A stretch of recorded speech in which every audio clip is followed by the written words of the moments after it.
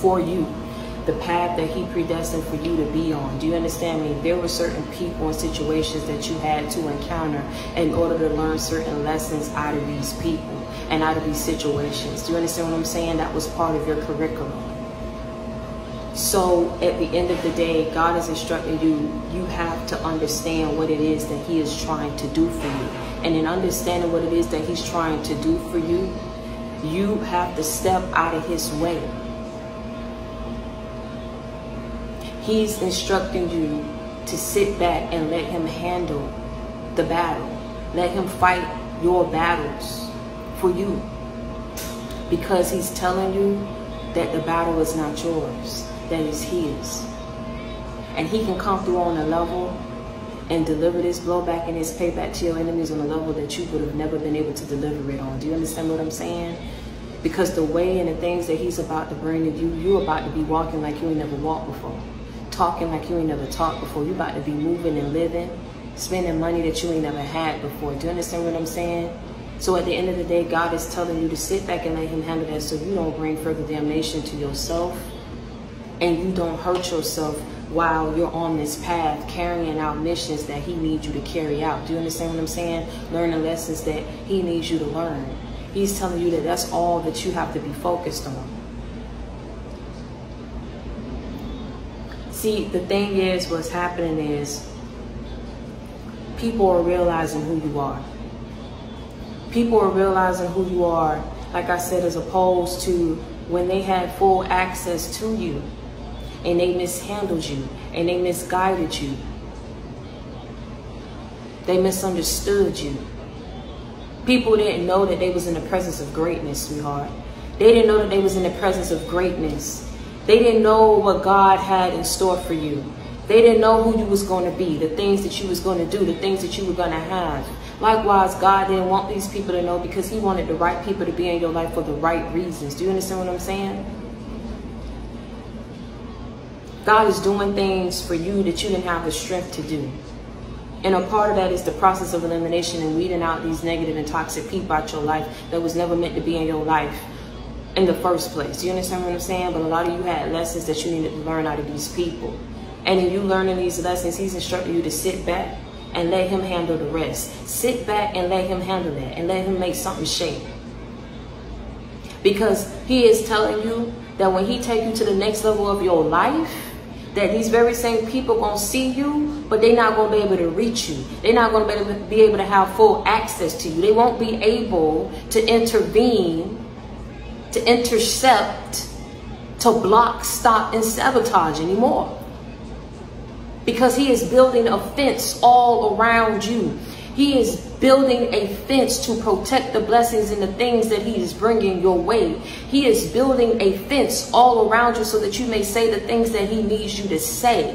He is building a fence all around you to keep your enemies at bay. JC, back me up. GPR, you with me. You already know what to do. If any of these messages resonate with you, please make sure that you like, comment, and subscribe. And tell a friend and tell a friend to join the JC gang. Reach one, teach one. We ride together. We gonna slide together. JC gang for life. You already know what's up. He is building this fence all around you to ensure and to protect the blessings and the things that he is bringing your way, baby. And it's also to keep those very same enemies at bay. Those very same enemies that spoke certain outcomes over your life. Those very same enemies that spoke failure over your life. The very same enemies that sat back and watched you struggle and laughed in your face and behind your back. The very same enemies that didn't think that God was going to rise you up from the ashes.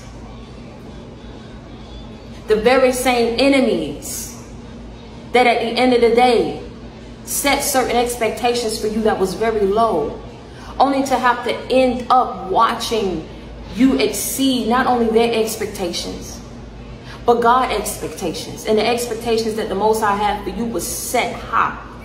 And you ended up exceeding those expectations because you are chosen because you are blessed and divinely favored so God is going to make sure that your enemies cannot intercept and intervene to block and distract and sabotage you anymore.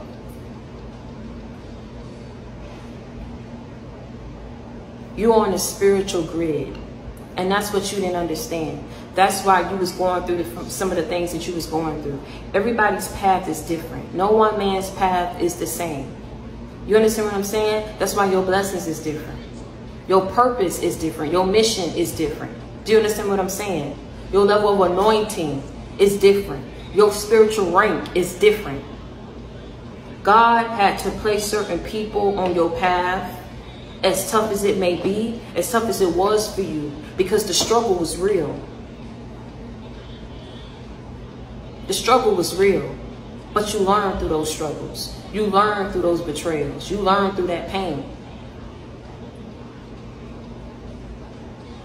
Because that's how God orchestrated it to go. The whole time you was never alone and he was right there with you. He was right there with you to ensure that you will make it to the other end, that you will make it to the other side, to step into the blessings. You went through the struggles to learn lessons, and He protects you along the way so you can get to the next phase so that you can enjoy the blessings that He had in store for you. He is protecting you. That is why He's telling you to sit back and let Him handle that. Sit back and get out of His way and let Him make something shake. Because He's not going to let your enemies have their way with you. Comment in the comment section below. How many times have God made a fool out of your enemies? How many times did he make a fool out of your enemies?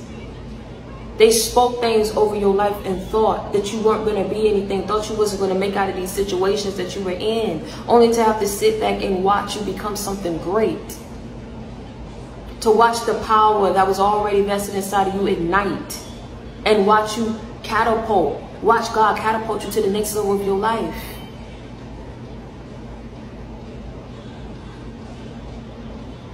God switched up your lanes, changed your path, got these people off your path, and he set you on a new path, appointed you in a new position,